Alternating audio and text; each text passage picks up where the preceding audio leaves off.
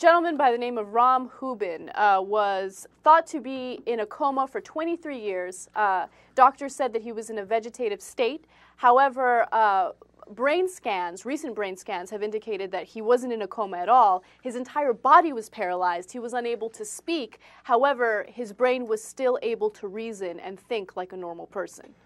And this is one of the most amazing stories of today, no doubt about it. I mean, it turns out the whole time he heard everybody. His eyesight wasn't that great, so he would see people, mm-hmm. but you know, not as well as of course he'd like to and stuff. But he's having an internal dialogue and he's thinking, how do I communicate? But he's totally paralyzed. Mm-hmm. He finds out his dad had died, and he's obviously overcome with grief, but he can't cry. He can't. And meanwhile, everybody assumes that he's in a coma and he's totally goner. Right. You know. And first of all, he must have heard some amazing things because you know people confess to people in a coma. I've seen it on TV.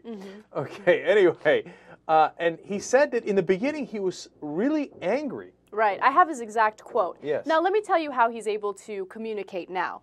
Um, doctors actually have uh, this device on his wheelchair, and he uses his finger. Apparently, he can move his finger to type in what he's thinking. So, this is something that he wrote Powerlessness, utter powerlessness. At first, I was angry, then I learned to just live with it. Uh, but his mom, uh, uh, because he's not communicating, he's even writing a book now. Um, his mom says, "Look, uh, he- he's got some humor, but it's a lot of black humor, uh, and he's kind of angry, uh, and um and he it, it's tough for him to get over it, you know, even after all these years. And I don't blame him, man. That's the most normal thing in the world. I Yeah. mean, can you imagine not being able to express yourself for 23 years and people are treating you as if you're in a vegetative state? Mm-hmm. That's so frustrating. And, you know, just to give people background on how this happened, it was what, why are you laughing? I'm sorry. I said black humor earlier. I want you to be clear. It's dark humor. Okay, it's not like he's like, okay, okay. I'm having a, so then a black guy walks in a bar. no, I'm sorry. That's not the kind of jokes he's making. Okay, sorry. Okay, uh, when he was 20 years old, he got into a car accident and that's how he became paralyzed. So, Okay, uh, it, but it's great that he's uh, that they figured it out at least. And look, it, for those of you who are now thinking like, "Aha! You see that Terri Schiavo? You didn't know. You could never know, etc., cetera, et cetera." No, no.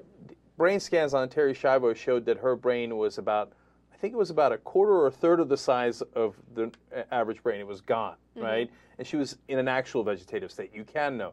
In this case, they've made, of course, a terrible error that apparently they've made far too much in the past. Mm-hmm. But there are some new technology. But even back then, they didn't think his brain was all mush. They knew that his brain was working. They just didn't know which parts of the brain were working. Mm-hmm. So there, I don't think there was really any. I might be assuming a little too much here because her, his mom fought for him all the way, and you got to give her a, a tremendous amount of credit. But I don't think that there was thinking of really pulling the plug because his brain was not, in, you know, in the sh- case was not i- in the state that Schiavo's is, was, for example. Now we found out about Schiavo's brain uh, after she passed away. Uh, we found out more information about it. But look, don't get me wrong; it gives you pause. If somebody says, "Hey, look, your family member is in a coma," Mm-hmm. and or they're in a vegetative state and they're not coming out, let's pull the plug. I'd be like, "Wait a minute, let's go back to Rom Houben. Let's mm-hmm. do those same tests. Let's cross our T's and dot our I's here." And meanwhile, I'm not going to confess anything by his bedside right. just in case. Okay, uh, but I look for a guy that you know went through all that for the, all those years. It's great to have him back with us. Mm-hmm. You know, I, I maybe I'm corny, but I feel like he's kind of rejoined humanity, and I feel great for him. Yeah, definitely.